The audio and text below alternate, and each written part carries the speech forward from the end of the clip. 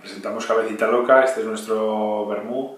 Eh, recientemente nos han galardonado en, en, Londres, en el International Wine and Spirits Competition.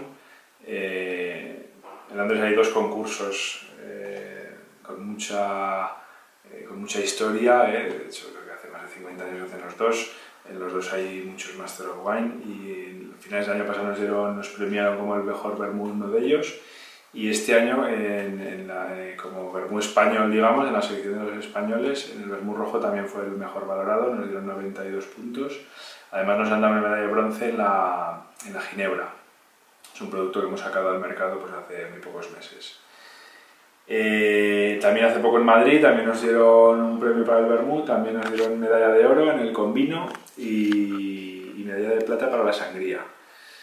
Eh, la elaboración, pues Intentamos diferenciarnos de lo industrial eh, a base de buenos productos, buena materia prima, vino de calidad, mosto de uva, eh, maceraciones naturales, alcoholes vínicos. Intentamos trabajar eh, el producto pues, desde la parte más artesanal. de hecho, nuestros productos vienen con el sello Artesanía Alimentaria de Aragón. El gobierno de Aragón avala el proceso artesanal de ellos.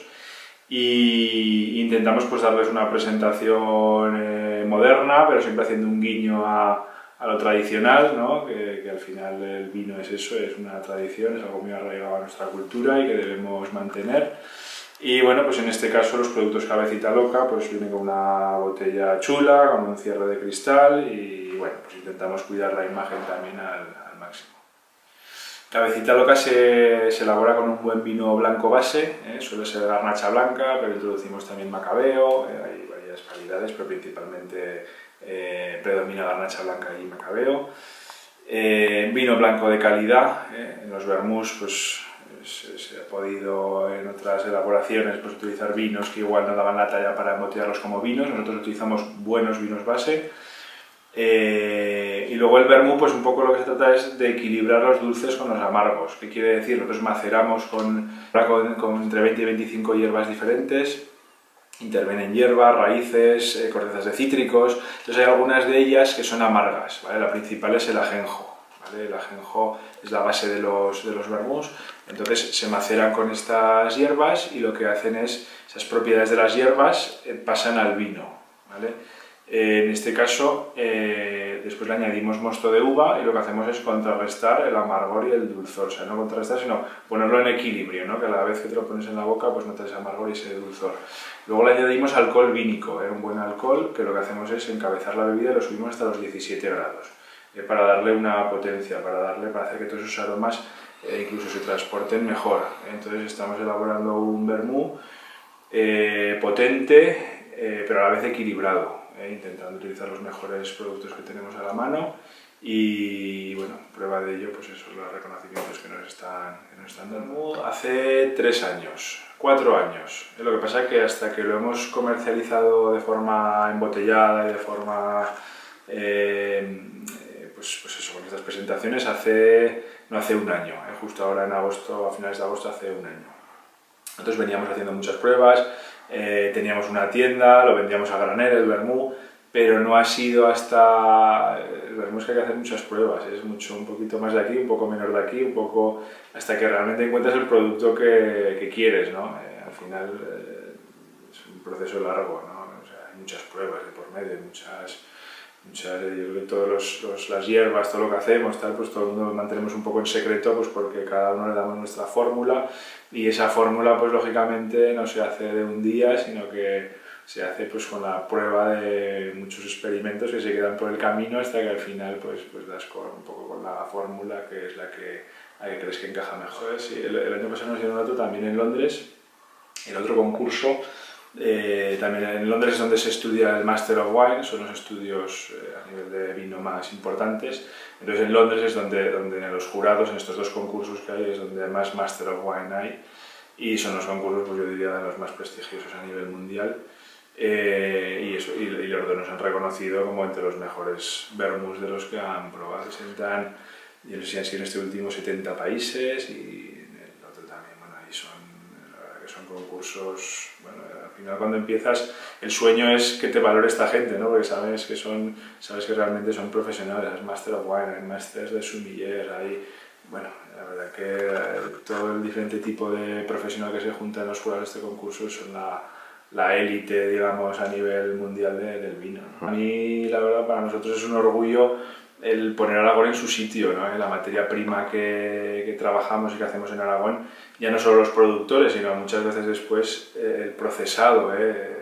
Tenemos clientes, al final estos vermos acaban en, en restaurantes, eh, en sitios que trabajan, por otro lado, muy bien la materia prima. Con eso quiero decir que en Aragón tenemos muy buen producto y la verdad es que el poder llevar un poco el, la, pues eso, la bandera de Aragón eh, por, por, estos concursos, la verdad que a mí me enorgullece y, y yo creo que es lo que, lo que nos, nos, hace falta, ¿no? esa parte de que nos conozcan, de que la gente poco a poco van valorando un poco y van viendo que, que sabemos hacer buenos productos. Sí que es cierto que aquí en, en nuestra zona pues no ha habido eh, tradición de vermouth, sí que, sí que ha habido en algún caso, pero bueno, se ha ido perdiendo. Y, bueno, pues para mí es recuperar eh, pues eso, bebidas que ahora parece que vuelven, e intentar darles ese toque, pues bueno, eh, intentar esmerarnos en la elaboración y la verdad que muy contento por todos los reconocimientos. Cabecita Loca y Sangría, Vermú y Ginebra. Eh, Cabecita Loca fue lo primero que sacamos, sí que es una bebida completamente diferente a lo que hay en el mercado, porque la elaboración de sangría suele ser casi todo industrial. Y con el caso de la sangría, pues se hace con buen vino, con mosto de uva, con zumos naturales, maceraciones naturales. Eh, es un producto que nosotros pues, vimos un poco ahí el nicho de mercado porque vimos que todo lo que había en el mercado pues, era industrial, eh, las elaboraciones son diferentes. ¿no? Y, y, de hecho es un producto del que estamos muy contentos, lógicamente, donde más se nos ha conocido es a través del Vermú, eh, porque además el Vermú, los concursos acogen la categoría de Vermús, por lo general la sangría no se acoge en concursos, sí que hay un concurso que, se hace en Madrid, que, que, es el único concurso internacional de sangría que se celebra en España. El año pasado nos dieron medalla de, de oro, este año nos han dado medalla de plata. Y, y, bueno, la verdad que también vemos que se nos ha reconocido la labor, vemos que bueno, es algo que un producto que, que se está valorando, sí que la sangría es un producto que siempre ha estado desprestigiado, pues porque la tenemos mal considerada, ¿no? Entonces, pues bueno, yo creo que es revalorizar un producto que, que, que es muy nuestro también, que, que, curiosamente donde más vendemos es en zonas turísticas, ¿eh? porque el extranjero la tiene mejor valorada o no tiene un concepto tan denostado de la sangría. Y yo creo que se está dando cuenta pues, que, pues, que eso, que puede, se puede hacer sangría, se puede hacer sangría de calidad, el nacional también se está dando cuenta y la verdad que estamos muy contentos también con la, con la sangría. Y la ginebra, pues un poco la peculiaridad de la ginebra es que el destilado es vínico, es de origen vínico. ¿eh? Nosotros somos una empresa que los orígenes es el vino, entonces todos los productos que hacemos pues, pues intentamos utilizar eh, todo lo que nos da la vid, eh, pues desde los endulzantes para el vermú y la sangría que es mosto de uva, hasta el alcohol que utilizamos para encabezar el vermú y para hacer la ginebra, que son destilados de origen vínico, entonces, pues la ginebra es el origen vínico, es un poco la peculiaridad, hay muy poquitas ginebras que tengan el origen del alcohol sea de vino. Eh, son alcoholes muy puros, eh, son alcoholes finos, son alcoholes que luego maceramos con, principalmente con enebro, pero también hay coriandro, hay cortezas de cítricos, hay alguna otra especia por ahí pues que le dan un toque, intentamos que sea una ginebra clásica, ¿eh? predominio de enebro, pero sí que es cierto que le intentamos dar un toque cítrico, un toque un poquito más refrescante. Es una ginebra seca, ¿eh? no contiene, en este caso no contiene azúcares, y bueno, para tener también cuatro meses de vida, pues ya nos la han premiado en el concurso de Londres, en el reciente concurso, nos han dado una medalla de bronce y, y la verdad que es un reconocimiento.